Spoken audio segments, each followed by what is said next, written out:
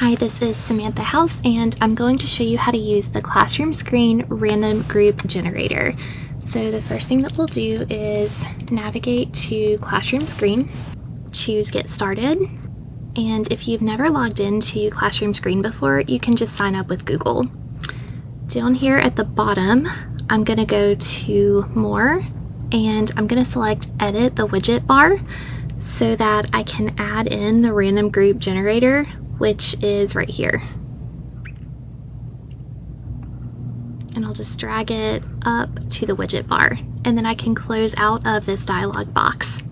From this screen, I can now click Group Maker and I'll click Open Settings because I need to either choose a list of names that I've already added in, or in this case, I'm going to show you how to get started with it. So we're going to add a list of new names.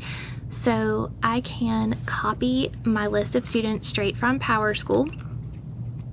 So here I'll click edit my list and I'll go create a new name list. I can give it a title. So this one might be called third block. And I can just copy the student names in straight from PowerSchool. And these are just fake names that ChatGPT came up with for the purposes of this tutorial. And I'll click create now what I want to do is go ahead and change a couple of settings within the name list. So there's a few really cool things that you can do.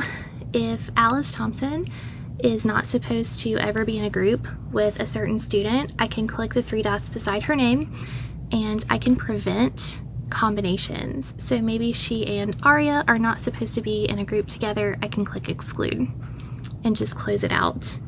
Maybe Emily Martinez, I'll select student settings really needs to be in a group with Clara, I can click pair and that'll make sure that they're together. So I'm doing that all of that on the back end, but it's still gonna look random when I do this in front of students.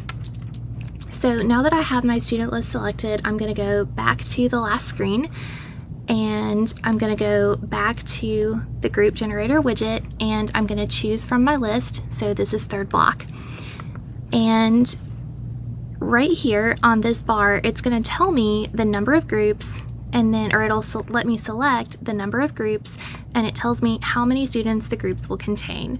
So if I want to get this down to three students per group, I can just keep sliding it and over to groups of 10.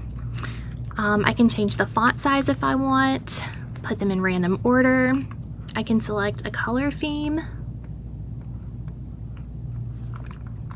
and then I'll just choose create groups. Now, we won't be able to see all of these, so I can go ahead and drag the handles so that they all show up at the same time. If I want to randomize again, I can click shuffle. And that is how you create random groups with Classroom Screen. Thank you so much for watching. Please subscribe for more Dear DIS videos.